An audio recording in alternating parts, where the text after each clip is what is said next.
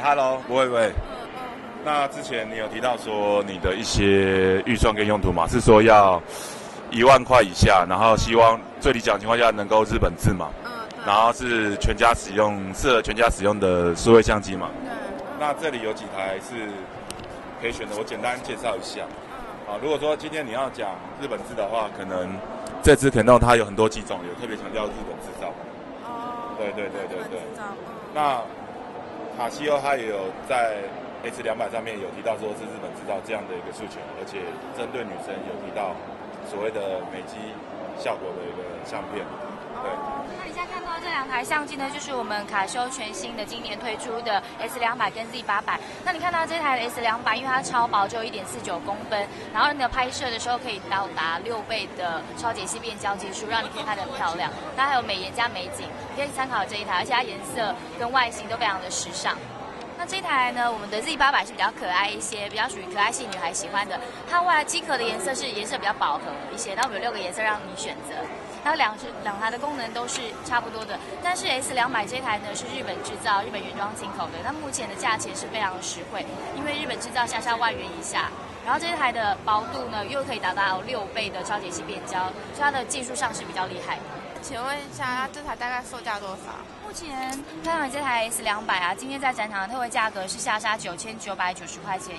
哦，那我们还送你八 G 记忆卡以及原厂电池。那如果你喜欢比较可爱的 Z 八百的话呢，现场特惠价格的话是七千块以下，六千九百九十元，一样送你八 G 记忆卡，然后以及原厂锂电池。如果说你不想要触控式，因为触控式屏幕有些人还是觉得，因为它反应上会有点慢，你还是用顿顿的按钮式这样。所以如果你要按键性、按键式的话还是比较我会建议这一台。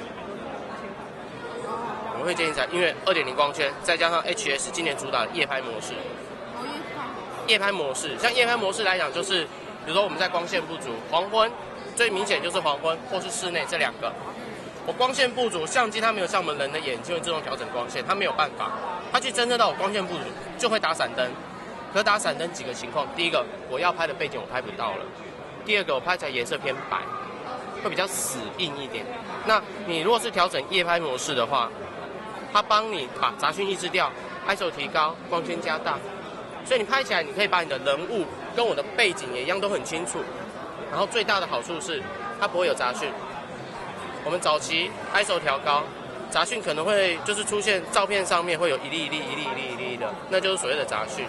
它帮你把那个一粒的全部通通抑制掉了，让你的拍照出来，你的一千 ISO 一千二等于我们一般拍的四百，这是它的好处。所以以您的需求的话，我会建议说这台 OK，因为它超出您的预算一点点，但是我觉得那个一点是 OK，可以接受的范围。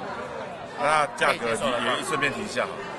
以它这台来讲，它目前的价钱，它原它的价钱我们展场价就是一零九九零，然后再送你一张八 G 的记忆卡。自己本身有比较属于哪一台吗？呃，我就蛮属于 Canon 那一台的。是嗯刚才讲的红色那一台。对对对，红色那一台。呃，可以简单讲一下你的感觉。